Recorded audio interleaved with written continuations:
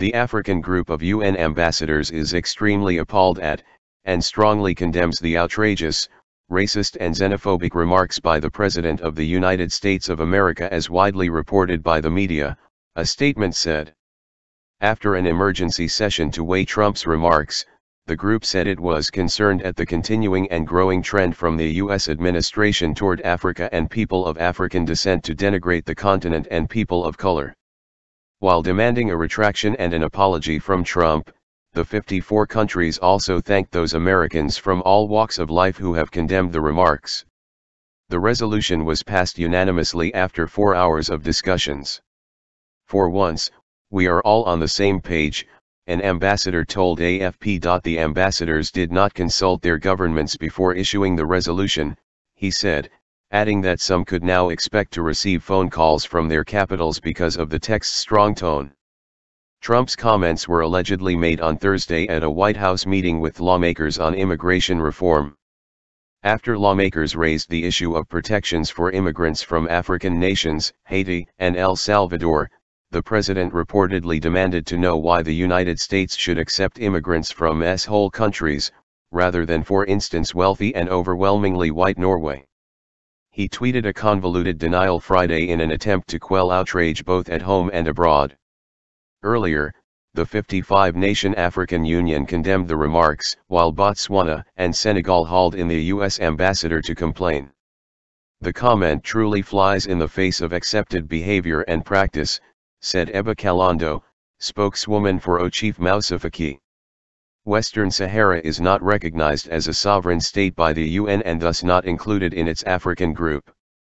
It is, however, part of the African Union, which Morocco left in 1984 over the body's recognition of the disputed territory's independence, before rejoining it last year. Nothing new. This is not the first time Trump has rubbed Africans up the wrong way he was widely derided last year after he twice referred to Namibia as Nambia. On social media, users across the continent on Friday posted images of modern skylines and beautiful nature from their countries with the ironic hashtag S-hole. Many Africans reminded the U.S. of its historic role in the continent's woes.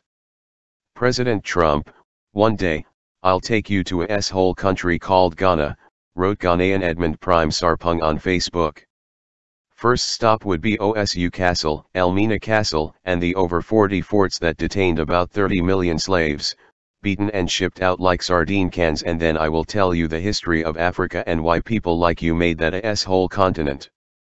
Prominent Kenyan commentator Patrick Gathara, told AFP that Trump's words were nothing new from a racist and ignorant administration, nor from the West at large. This is no different from what Hollywood and Western media have been saying about Africa for decades.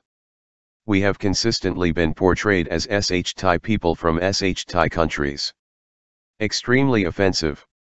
This statement shocks us a lot as Africans but as black people too, said Senegalese teacher Mohamed Dai, adding that we do not need Americans or Europeans, we will go it alone. Some acknowledged problems in their countries, but blamed this on their poor leaders as well as Western nations such as the US. Please don't confuse the hashtag S-hole leaders we Africans elect with our beautiful continent. Our motherland is the most blessed continent that has been raped by imperialists in collaboration with our SH Timeless leaders for generations, wrote Kenyan activist Boniface Mwangi on Twitter. In South Africa, the ruling party declared ours is not a s-hole country and described Trump as extremely offensive. It is not as if the United States doesn't have difficulties. There are millions of unemployed people in the US, millions of people who don't have health care services or access to education and we would not deign to make comments as derogatory as that, said Jessie Duarte, the Deputy Secretary General of the African National Congress, ANC, it's our S-hole. Some Nigerians however did not hold back, with many on Twitter saying their country was a S-hole, but that it was our S-hole to criticize. In Senegal's capital Dakar, Administrator Idrissa Fall said we cannot really say that he, Trump, is wrong. African countries, and sometimes our leaders, do not exactly deal with the problems of the worst off, that's what makes people immigrate. Even war-torn South Sudan weighed in, with President Salva Kiir's spokesman Ateny Wek Ateny slamming the comments as outrageous. However Juba businesswoman Jenny Jor, 31, told AFP that Trump's remarks were on point. It is thanks to our African leaders that we are insulted that way, she said. Trump's latest comments also provided ample fodder for talk show hosts. South African comedian Trevor Noah, star of The Daily Show, described himself as an offended citizen of South S-hole and also criticized Trump's preferred choice of Norway for immigrants. He didn't just name a white country, he named the whitest dash so white they wear moon screen, he said.